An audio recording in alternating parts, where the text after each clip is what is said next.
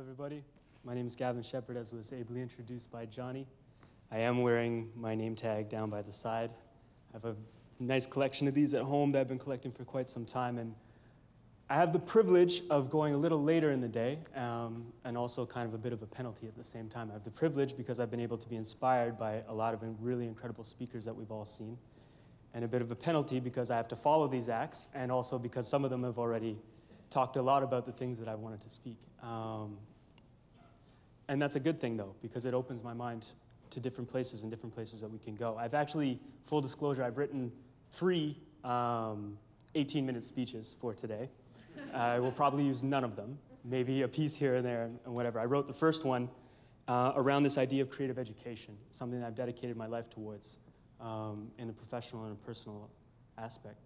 And I wrote it, and in the TED Talks, they have these TED commandments, as I'm sure most of you are aware of. And it says, you know, you can't talk about your business or your company or your organization. And so I, I painstakingly wrote this speech for 18 minutes long without saying the word remix once. And I was really proud of it, but also really frustrated at the same time. And so I crumpled it up and I threw it out. And about uh, 12 midnight, day before yesterday, I started on my second one. And I wrote an entire new thing, and it was very personal. It talked about growing up, it talked about what my experiences were, and I realized that I was a raging egomaniac. And so I threw that one out as well, and, uh, and tried to write something somewhere in between. And I guess that's what my, my talk will be today, is, is, a mix of the personal and the professional, uh, a mix of anecdote and statistic, and basically just trying to talk about what this idea of creative education means to me, because it's a very open concept. Um, it can go in so many different ways. We can talk about the state of the current education system, we could talk about learning, and we could talk about educating creativity, although I think that might be a bit problematic because I actually don't believe that you can educate creativity. I believe we can obviously foster creativity. I believe that we can help grow, we can incubate creativity, but we don't educate creativity. We're born creative. Um, but much more able speakers have, have spoken about that type of thing, as was witnessed earlier by Elizabeth Gilbert, and uh, one of my favorite TED Talks of all time is Sir Ken Robinson as well. He does an absolutely incredible job around this topic. Um, I'm not an academic, um, but I consider myself a lifelong learner. I consider myself someone who is, who is in the pursuit of knowledge. Um, the reason, at least in my opinion, why I haven't become a, an academic per se or a professional academic is, is twofold. Uh, one, that's just not what we did where I grew up. Uh, I came from a very blue collar neighborhood, um, very working class. Out of 14 friends of mine, four of us actually graduated high school on time.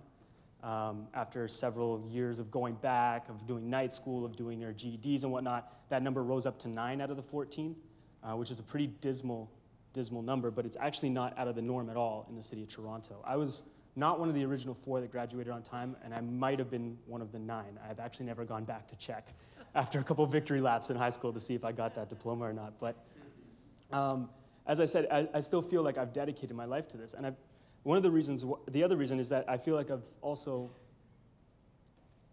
to be blatantly honest, I feel like I've been insulted by the education system um, many times over the course of my life, the formal education system.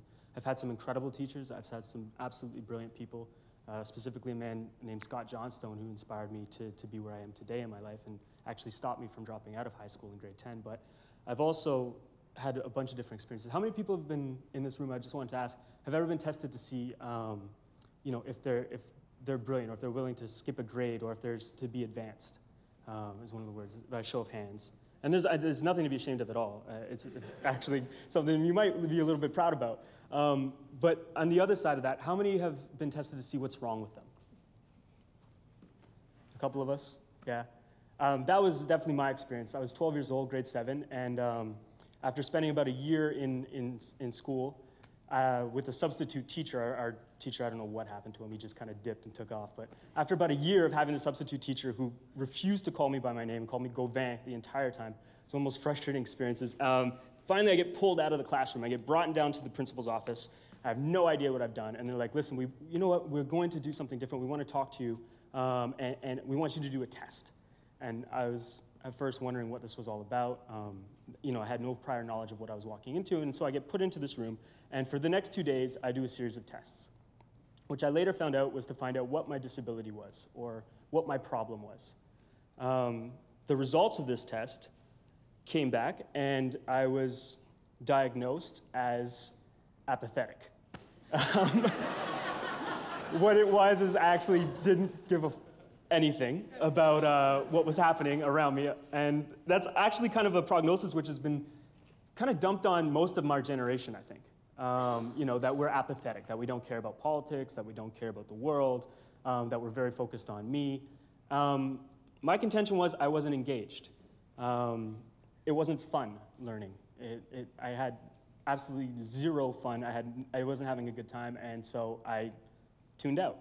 Um, the response of me trying to engage my fellow classmates, and, and Don Tapscott was speaking earlier around this idea of like students learning together, sharing answers, and, and trying to figure things out on their own in group dynamics.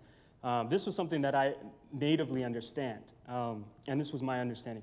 My response was, this is the, uh, this is the classroom, this is the teacher's desk. I was moved, a lot of kids understand this, they were moved to sit in front of the teacher when you're like facing the teacher. From there, I guess that wasn't far enough away from the rest of the students, so I was moved over to the side of the desk. And then from there, there's a television set. We used to get our announcements on television, which was pretty crazy. But we, we got our announcements there. So then I was moved to behind the television, facing the chalkboard. Um, and that's where I was supposed to, to, to, take part for the rest of the time. So I felt pretty insulted, um, obviously, at that point in my life uh, by the education system. And ever since then, I kind of just tuned out. Um, and I've never really tuned back in in that regards. And it's something that's actually a regret in my life because I have a lot of really, really incredibly brilliant friends who've gone on to post-secondary and done amazing things and said, don't worry, it's nothing like what you know, you know. It's nothing like what middle school or high school was. It's a completely different environment. And um, this is something that, that has, has kind of like really bothered me over the last couple years. So I guess from these experiences, you know, and from seeing a bunch of my friends not succeeding, from not succeeding myself, but for understanding that I was really involved and I was really engaged, and I actually did like read voraciously. I was I, like I had an incredible thirst for knowledge. Um, at the same time, I also had a thirst for community, because there's several different types of intelligences in the world, right? There's um, kinesthetic, there's also the auditory, there's visual, there's all these different things. There's also something called interpersonal intelligence. It's something that where people relate to each other. It's also known as emotional intelligence in a lot of cases.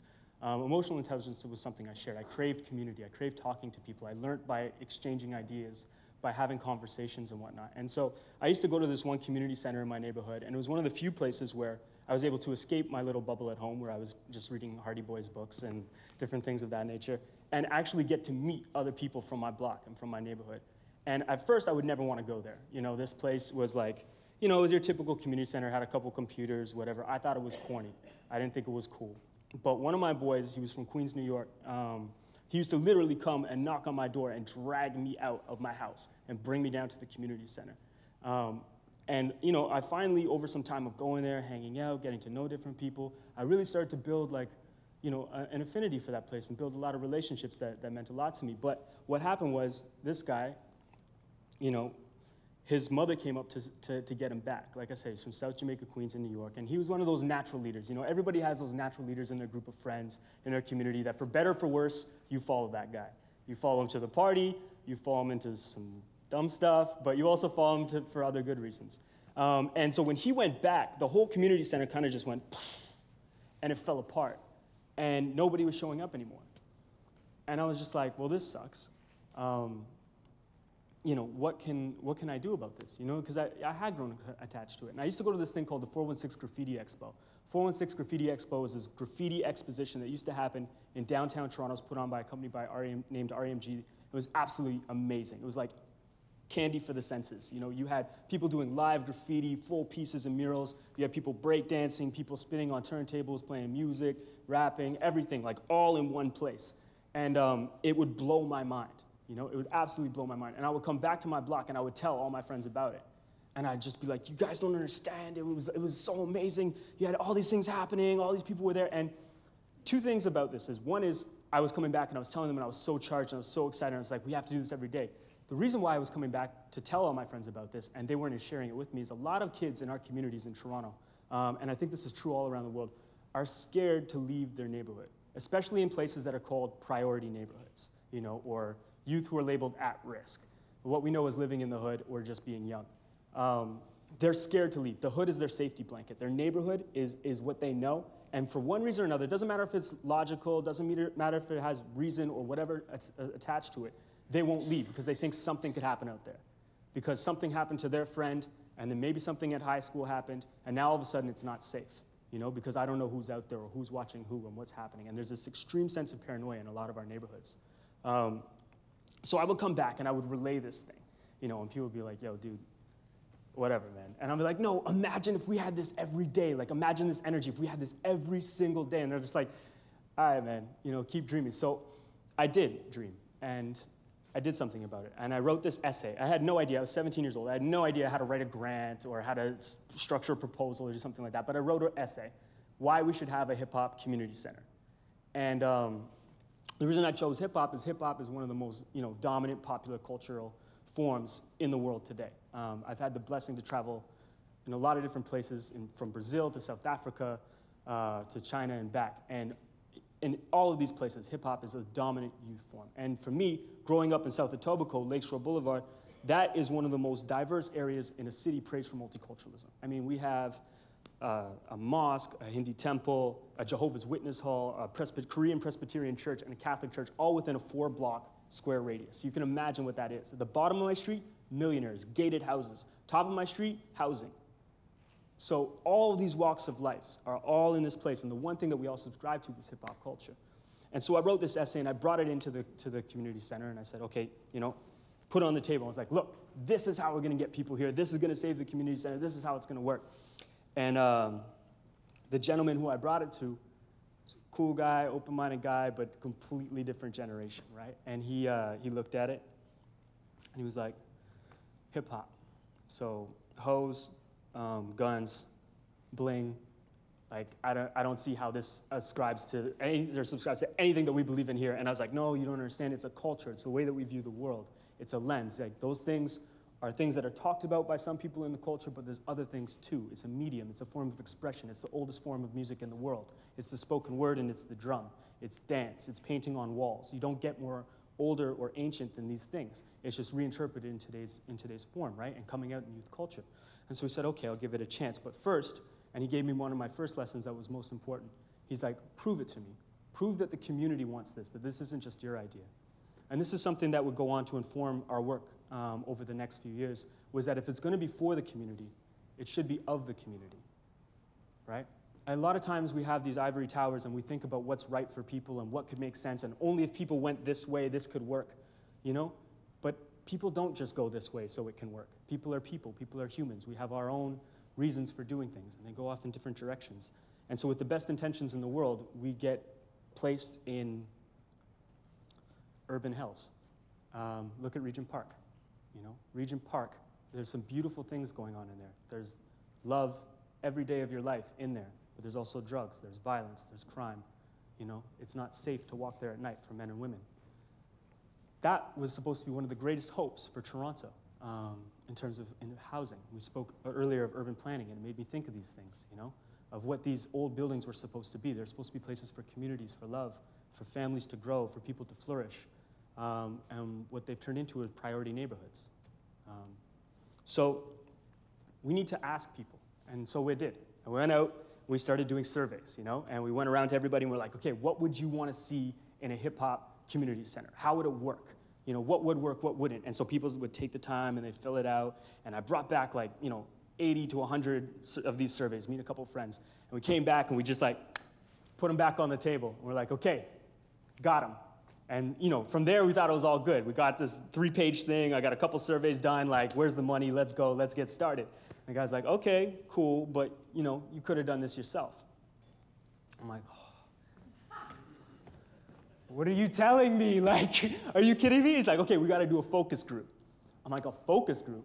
So you have to understand, I have no idea what the hell he's talking about. I'm like, yo, we got our group, we're focused, we're ready to go, like we're all here, you know, and he's just like, no, no, no. A focus group is where we're going to get people together. We're going to sit down, you know, and we're going to talk about the issues. We're going to talk about how this can actually work. And I'm like, dude, what? Like, I'm going to get all my friends to come in here, sit in this place that they already don't want to come to, and talk to you about what they want to see. I'm like, oh, whatever. So what do we do? We go out, tell everyone, free food, barbecue at the community center, right? So everybody shows up. Place is packed. It's rammed out. As soon as they get there, they start eating the food. We lock the door behind them. We're like, yo, if you can eat our food, then you can answer some questions. Everyone's like, oh. I'm like, no, no, no, chill, chill, chill. Remember, this is what you've actually, remember those surveys that everybody filled out? Everyone's like, yeah, yeah, yeah. I'm like, well, somebody over here doesn't believe that you actually might want this community center, right? And, and this is something that we actually desire. And so he said, and so everyone starts talking. And what turned into something that we thought was going to be the most arduous, teeth pulling type of experience turned into people for two hours debating each other, standing on pool tables, calling each other morons, saying each other are brilliant, you know, and actually deciding for the first time what they wanted to see, how they wanted to spend their time, um, and, and what would be best for them in our own community. You know, from there, this program started to grow. We were able to get successful funding, um, and we started off with a small drop-in community center, the basement of the community center. We had turntables for public use. We had walls for graffiti. It was like a mini 416 expo. You know, there was open mics once a month. Over time, this program has expanded, always listening from the community. We started doing these open mics. People would start to win the open mic, and they'd say, you know, okay, I've won. Now what do I do? We said, I don't know. So we went out and we went to the industry and we got professionals to come in and to talk about the business. We called it the ropes. From there, we had the ropes where people were learning about the business in their own organic way and through conversations, through dialogue with people. And then they said, okay, so I've won this thing. I've understanding a bit about how to promote myself, but I still can't afford to record anywhere. I, I just don't have the resources, you know? And so we said, okay, cool. Let's start a community. Let's start a studio. And at this point, like I, it was my turn to be like, yo, dude, you're, you're dreaming. This is my partner, Drex, at the time. And Drex is just like, okay, no, we're gonna make it happen. He writes the grant, he gets it, we start the studio. And from there, it's grown and it's grown and it's grown. What, from that point, now we have a fully operational recording studio where people are coming first come, first serve basis. They're getting to explore their creativity, they're getting to explore themselves. You know, they're starting to put down thoughts that they never really even knew that they had themselves. They're talking about issues in the community. They're also talking some bullshit. You know, they're talking every once in a while, that's what they're talking, but they're recording, they're doing something creative, they're using different faculties of their mind, and we're having incredible dialogues. But at the same time, we were frustrated. We're like, you know, we still aren't really able to work with the people we want to work with. It's a drop in, it's first come, first serve. I'm getting 34, 50 kids coming in per day for a six hour session. There's no way I can dedicate the time that I want to dedicate to these kids. And I feel like what we don't have in our communities is deep investment. You know, we have a lot of like really cool peripheral things, things that are happening in one-off situations, but we don't have that deep investment for the kids that really need it. Those brilliant, brilliant, brilliant minds that are being sucked off into different directions because one reason or another, whether it's mom needs help with the groceries, whether it's little brothers and sisters need support, or whether it's just themselves being pulled into negative spheres of influence. And so 2005 happened, as we all know, that was called Summer of the Gun.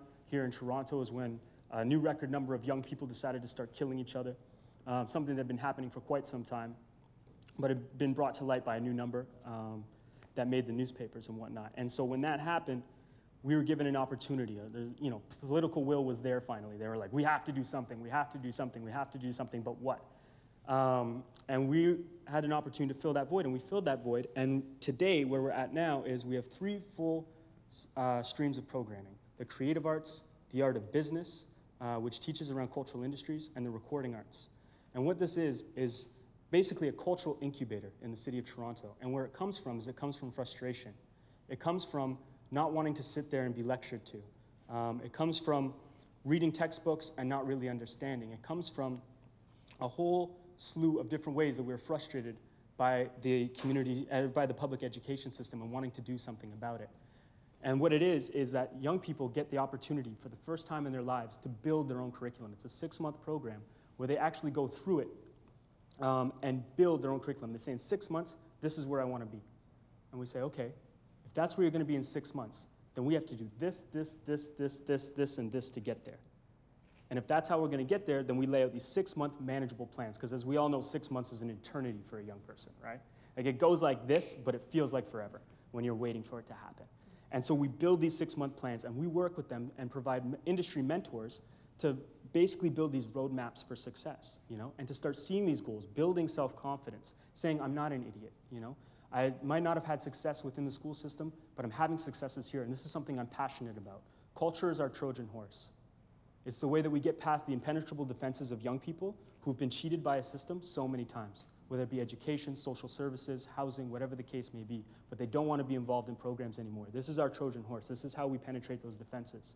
And once we get past those defenses, those impenetrable shields that these young people hold so close to them from having their heart broken so many times, then that's when we can start to hit them with life skills.